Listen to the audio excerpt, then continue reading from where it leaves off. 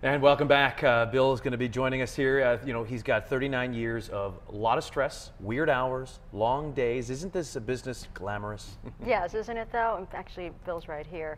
Um, you've always given credit where credit's due, and you've said you've been able to make it through thanks to the loving support of your family. And recently, your Inside San Diego co host Laura Buxton got you to open up about your amazing relationship with your fabulous wife, mm. Jenny. How did you get beautiful Jenny to fall in love with you? Uh, she's uh, very nearsighted. Yeah, couldn't. no, couldn't I mean she is kind and beautiful, yeah. which which is not to rule you out in any kind of way, but she's so special, and yeah. I just wonder what it was.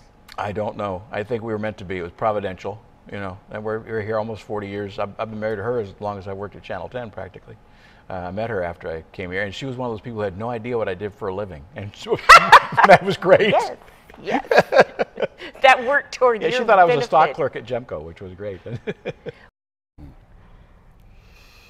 okay, okay, we're gonna leave this desk for you. Oh, oh we're wow. running out okay. of time, but I just want to say goodbye now.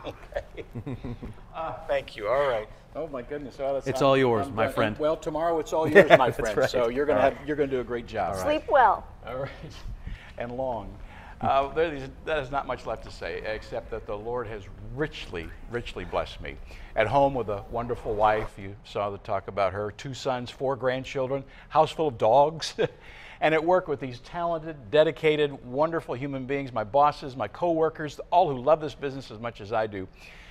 I don't want to thank each one by name here. It's too personal, and I might leave one out. If I haven't already, I'll thank each one of them later. And I can't thank each one of you at home personally, but I thank you all collectively. Those of you who have taken the time to write and call, those of you who just taken the time to watch, you invited me into your home. That is an honor, a privilege, and a huge responsibility. I'm leaving the daily grind to spend more time with my family and have some excellent adventures away from TV, but I'll be back from time to time.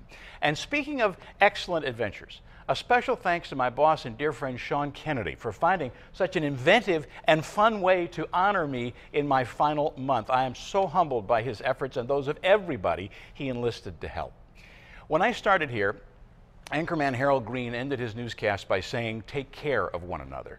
I borrowed from that, and for years I said, Be good to one another. I haven't said that in a while, so let me say it here one last time. Thank you Thank you. God bless you. And please be as good to one another as you have been to me.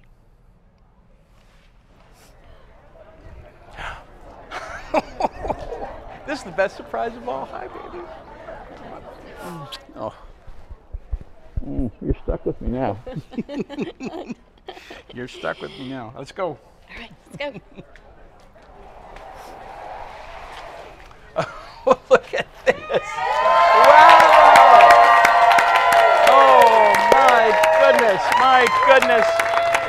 Hi family, how are you?